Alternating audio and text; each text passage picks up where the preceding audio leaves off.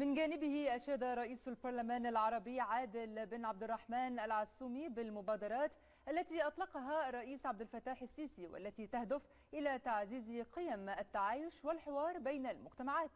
وفي هذا الإطار شدد العسومي على ضرورة دعم المؤسسات والمجتمع المدني لرجال الدين في مهمة نشر قيم التسامح والتعايش.